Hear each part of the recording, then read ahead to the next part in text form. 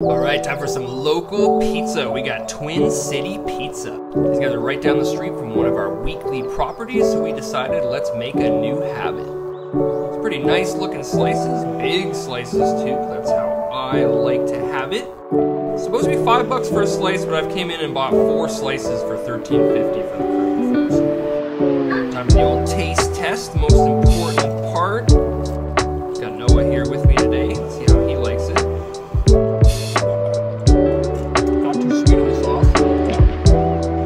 Fairly thin. Hmm. Definitely coming back, but you tell me which place should I take the boys next?